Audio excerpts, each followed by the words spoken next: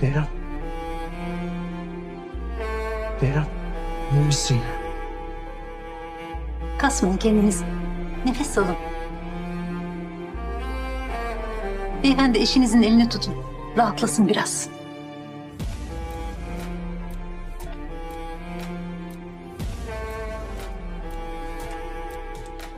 Bir gün büyüyeceksin. Ve ben sana hikayemizi anlatacağım. Birbirimize nasıl kavuştuğumuzu anlatacağım.